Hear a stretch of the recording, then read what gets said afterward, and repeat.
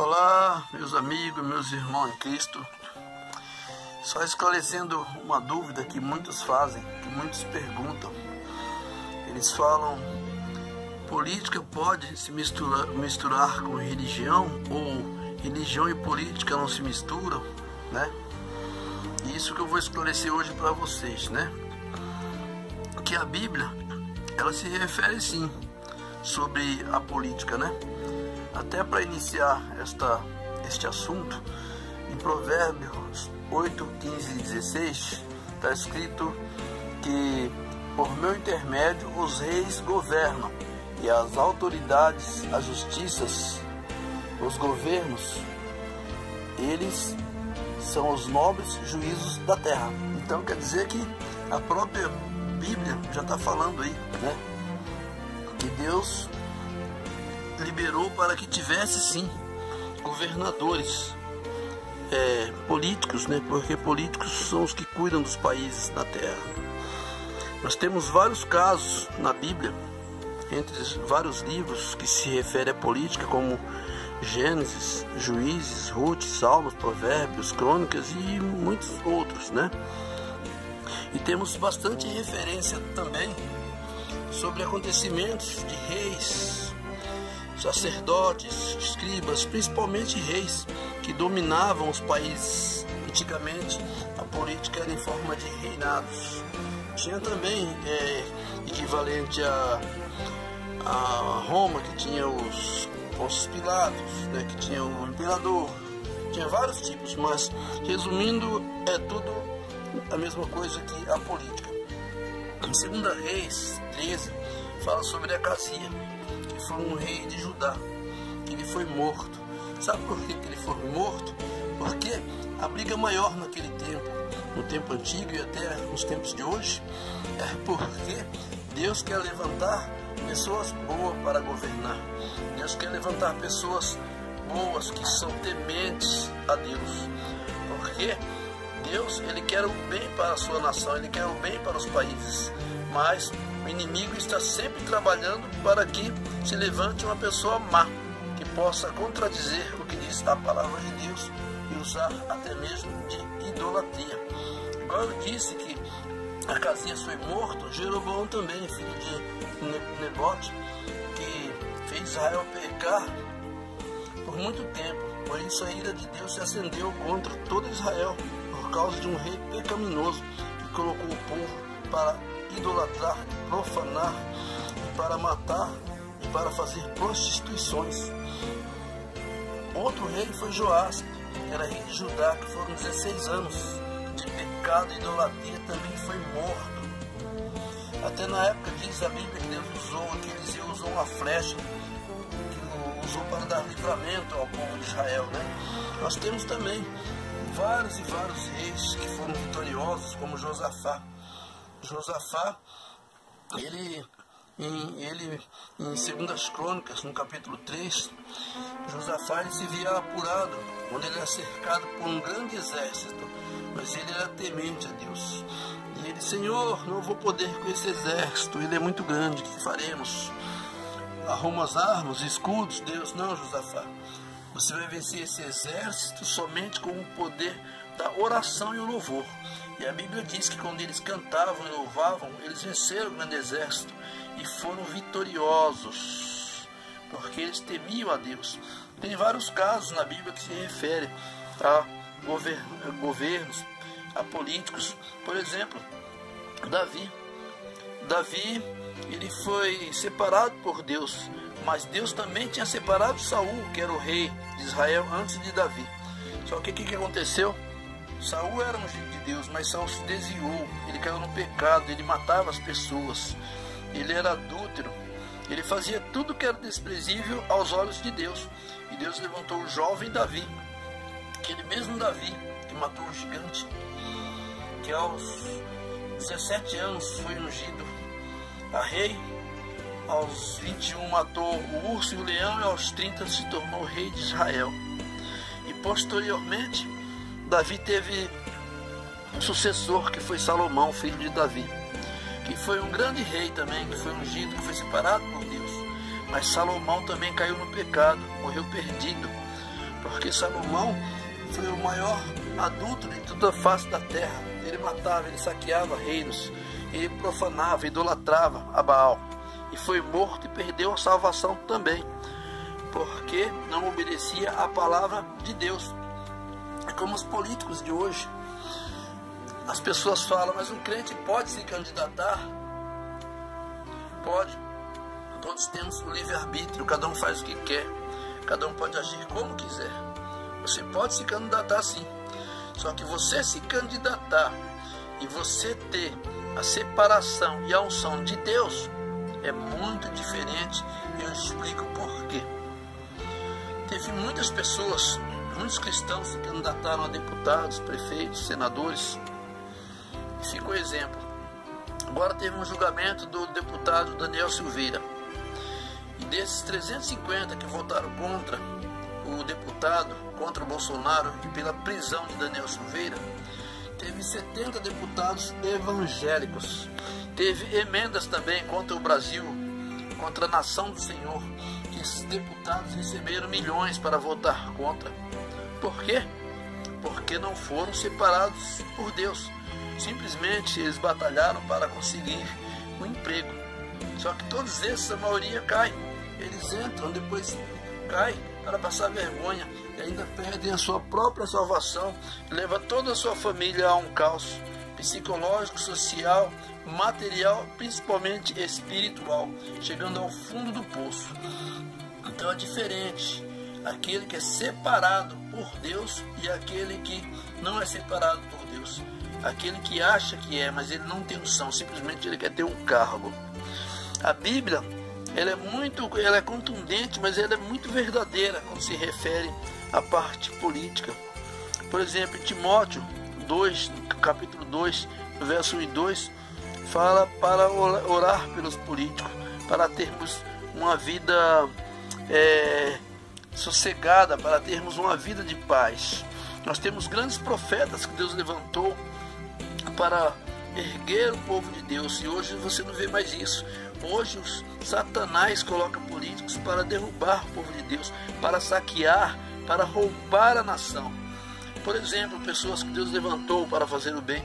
Deus levantou Moisés para tirar o povo do Egito. Deus levantou Sansão, era como um juiz da época para libertar o povo das mãos dos filisteus. Deus levantou Gideão, com seus 300 homens venceram aquela grande batalha. Deus levantou Esther, reinou Israel por 30 anos. Deus levantou José, que foi governador do Egito por vários anos. Deus levantou Daniel, que governou a Babilônia, e eles tiveram anos de paz. Deus levanta aquele que ele quer na hora que ele quer. Porque aqueles que Deus levanta, eles vão servir a Deus para sempre. Eles não vão entrar em ideologias de gêneros, eles não vão roubar nem saquear a nação, eles não vão fazer como os políticos de hoje, que trabalham para si mesmo, para enriquecer. E quanto mais sujo for as coisas, mais eles estão ali. Em Brasília, por exemplo, o Brasil está passando uma fase difícil porque que estão ali que é uma legião de demônios ali, que tem um demônio mais forte que os domina. E eles fazem tudo para matar o povo, para saquear a nação, para não deixar o presidente Bolsonaro governar, porque ele não rouba e ele é um homem temente a Deus. Então, o que, que os crentes, de cada mil pessoas, se tira dez crentes que estão na igreja, mas de cada dessas mil pessoas, de cada dez crentes, tem um crente que realmente é fiel a Deus e ora como a porta é estreita e os crentes ungidos são poucos, o que, que tem que esses crentes fazer? Esses que oram de verdade, eles têm que colocar o joelho no chão e pedir para Deus, para que o anjo do Senhor acampe ao redor do Brasil e nos livre. Eles têm que pedir para Deus para que o exército de anjos que tem no Brasil, que o exército de anjos de Deus faça com que esses demônios que existem em Brasília, que sejam queimados, mandados para o inferno, que é o seu lugar, e que parem de atormentar a nação brasileira. E esses crentes que oram têm que interceder a Deus. Não adianta você interceder por A ou por B. Tem que interceder a Deus para que esse exército de anjos, de demônios, sejam derrotados para limpar a nossa nação brasileira. A Bíblia, ela tem vários livros, vários versículos que falam sobre a política. Nós temos Deuteronômio, é, no versículo 1, no capítulo 1, no verso 13, nós temos 1 Pedro, no capítulo 2, no verso 17. Nós temos 1 Timóteo, no capítulo 2, no verso 1 e 2. Nós temos Mateus, no capítulo 22, no verso 17 e 21. Nós temos Mateus, no capítulo 28, no verso 18. Nós temos Êxodo, no capítulo 22, no verso 28. Nós temos Provérbio, no, no capítulo 28, no verso 16. Provérbios também, no, no capítulo é, 29, no verso 2. Nós temos Provérbios, no capítulo 28, verso 2. Provérbios, no capítulo 16, no verso 10. Provérbios, no capítulo 14, no verso 24. Salmo, no capítulo 94, no verso 20. Salmo, no capítulo 33 verso 12, e muito mais versículos que a Bíblia está nos alertando, nos exortando da função que o servo de Deus tem que orar para que Deus levante pessoas santas, pessoas de Deus para governar, pessoas boas para serem políticos. A Bíblia, a Bíblia é bem clara nesse, nesse, nesse sentido, porque os políticos maus, eles vêm para tomar, para derrubar, para matar, para saquear, para destroçar, para acabar com a sua vida. Veja aí esse vírus, esse coronavírus. Eles estão usando isso aí em forma de política para tentar derrubar o Jair Bolsonaro, para derrubar o presidente. É só isso. Esse vírus era para tentar derrubar o presidente. Roubaram todos os dinheiros que tinha para o Brasil. São Paulo mesmo foi mais de 100 bilhões. Esse dinheiro sumiu. Todos os hospitais de campanhas foram desmontados. E eu digo por quê? E o João Dória, ele tem intuito de ser candidato a presidente da República. Ele quer derrubar Bolsonaro a qualquer custo. A Rede Globo quer derrubar Bolsonaro a qualquer custo. Ela quer colocar Lula, porque se ela não derrubar Bolsonaro, a sua falência está decretada. Tem o Foro de São Paulo, tem muitos políticos. São 12 governadores contra o presidente Jair Bolsonaro. Tem vários e vários prefeitos, vereadores da esquerda pessoas que são usadas por Satanás, são setas, são verdadeiras setas usadas pelo maligno, como essa seta de nome coronavírus, são esses políticos usados pelo demônio para derrubar a nação. Mas nós crentes ainda ungidos, nós vamos orar e vamos clamar, e pelo nome e pelo sangue de Jesus, todas essas pessoas vão cair por terra. O diabo vai ser envergonhado, vai ser envergonhado. O diabo e seus anjos serão destruídos. E levantaram-se para cair, porque até Lucifer, que se levantou para tentar tomar o trono de Deus, foi jogado abaixo com o diabo e todos seus anjos.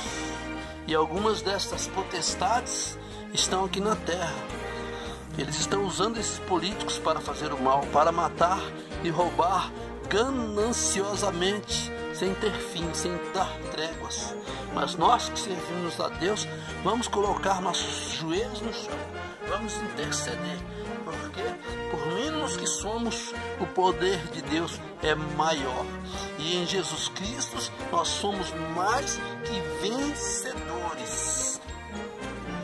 Ainda lembrando que a palavra de Deus que diz em 1 Crônicas 7,14, que diz que o povo que chama pelo meu nome se orar, se jejuar, se temer, se obedecer, se consagrar, se se desvencilhar da idolatria, se se desvencilhar do espiritismo, das crendices, das seitas miseráveis, dessas centros de, de umbanda, dessas coisas miseráveis que existem por aí, que tudo isso aí é, é, é obra de Satanás, tudo isso aí é testamento de Baal. Se esse povo se arrepender e buscar a Deus, sararemos a tua terra, sararemos a tua água, como está em Ezequiel 47. Que Deus te abençoe e te guarde, meu irmão. Guarde estas palavras e saiba que tem que ter política sim, mas tem que ser separados por Deus, porque o diabo está bramando com o leão para tragar a sua vida e principalmente ele quer acabar com o futuro de seus filhos. Ele quer que isso aqui vire uma Venezuela. E não se engane não, meus irmãos. Tem muitos crentes aí na sua congregação que ele fala assim, ah, não fala de política não, tá tudo na mão de Deus. Pode ter certeza que isso é um petista enrustido, viu? Pode ter certeza. Porque a pessoa que tem convicção que a palavra de Deus fala que Deus levanta reis, levanta prefeitos, levanta vereadores, levanta senadores, levanta assessores para servir a pátria e a Deus, não a Baal. Essas pessoas que têm medo de falar e ficam pulando para trás, é tudo esquerdista, viu? É tudo gente que serve a Baal, é tudo gente servo de Satanás. Porque como pode alguém servir a Deus e ser fã de Lula? Um homem que é servo de Baal, é criatura levantada por Satanás. Uma pessoa que serve um camarada desse é servo de Satanás, sim, é servo de Baal. Está aí na sua igreja enganando. Tem muitos pastores também, servo de Baal. E esses são setas usadas e inflamadas pelo demônio. São setas inflamadas pelo maligno para prejudicar o país. Esses pastores, irmãos e músicos também, cantores, tem muitos servos de Baal dentro da congregação, dentro de todas as igrejas. Depois a igreja quebra, a igreja esfraqueja, a igreja cai, não tem milagres, nada acontece. O pastor ungido de Deus está lá carregando um guarda-roupa nas costas, está lá carregando uma geladeira na costa. Ele ora dia e noite, ele chora aos pés do Senhor, os seus joelhos estão calejados, mas o milagre não acontece, porque essas castas, esses encostos, continuam indo nos templos para atrapalhar a obra de Deus, mas logo virá o, os finais do tempo e a vinda de Jesus, todos nós os salvos subiremos para a glória com Cristo. E essas pessoas irão pagar caro, ou se arrependam enquanto é tempo, ou o fim está próximo. Jesus está às portas e já está batendo. Se prepare, o fim está próximo. Te converta Tome vergonha na tua cara e saiba que a palavra de Deus ela é pura, ela é verdadeira, ela é única, ela não é para frouxo. Deus não gosta de frouxo, Deus não gosta de crente frouxo, crente vagabundo, crente, crente esquerdista, crente sem vergonha. Deus não gosta de crente frouxo. Deus não gosta de, de crente frouxo, adulto nem safado. Deus quer pessoas que oram, pessoas ungidas, pessoas que creem, pessoas que confiam. Que Deus abençoe a todos aqueles que creem, aqueles que não creem, que já se entregaram para Satanás, vão pagar o preço, vão ser queimados no lago de fogo do inferno. Mas todo aquele que crê, que confia em Jesus Cristo, aquele que confia que Jesus é o único e suficiente Salvador da nossa alma, esse sim vai conhecer a cidade santa e vai estar na glória com Cristo. Mas aquele que crê, eu abençoo eu determino a bênção na sua vida no nome de Jesus. Que você tenha dias de paz, dias de alegria, de prosperidade. E tudo que você fizer trilhará, porque Jesus está contigo. Feche seus olhos e eu vou fazer uma oração por você. Senhor meu Deus, esta pessoa que está me ouvindo neste momento, meu Pai esta família, esta pessoa que crê em Ti, esta pessoa que sabe que é necessária a doutrina, porque ela é temente a Ti, meu Deus. Ela não teme nada, nada, nada deste mundo, ela não teme essas hostes de Satã, porque ela crê no Teu poder, Jesus. Senhor, eu te apresento, meu Pai, agora, neste exato momento, estas pessoas, este moço, esta moça, esse jovem, esse senhor, essa senhora, que está passando por um esgotamento físico, mental, espiritual ou este que esteja internado no leito de enfermidade no hospital, ou quem sabe ali na tua cama, urrando, gemendo, Senhor, pedindo por misericórdia, meu Pai. Que o Senhor vai atendê-lo agora, neste momento, meu Pai. É o que eu te peço, meu Deus, em nome de Jesus, meu Pai. Pois sabemos que as dificuldades que enfrentamos têm minado as nossas forças e nos deixado tristes, cansados e muito, muito abatidos mas diante da tua palavra, Senhor, eu quero declarar a nossa total dependência em ti. Renova as nossas forças e nos capacita para que tenhamos sabedoria e assim possamos ser mais que vencedores em tudo que tivermos que enfrentar no nosso dia a dia. No nome de Jesus. Amém. Amém e amém. Eu te abençoo em nome de Jesus. Receba aí esta bênção aí do pastor Jeová Santos. que o grande e maravilhoso amor de Deus, a maravilhosa graça do nosso Senhor e Salvador Jesus Cristo, que a comunhão e as consolações do Espírito Santo seja com você, com sua família e todo que estiver ouvindo aqui esta mensagem, desde agora e para sempre, no nome de Jesus, você diz: Amém, Amém e Amém.